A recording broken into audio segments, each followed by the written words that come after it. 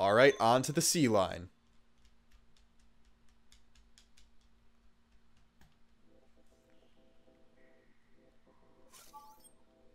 Shrinky Ink Station.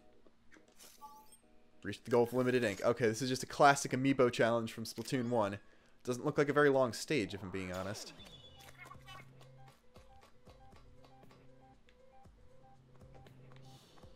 Okay. You know, I'm just going to wait this out.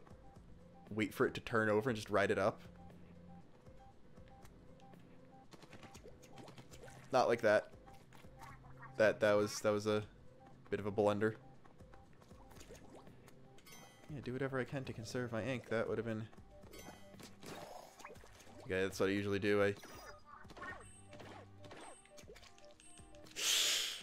Oof.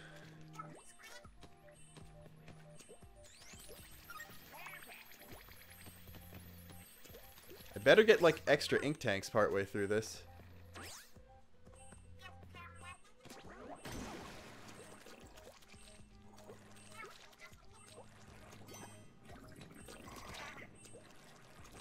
I missed a shot that could screw me. Because I still need enough ink to open that. Okay. There's a balloon fish. Never mind.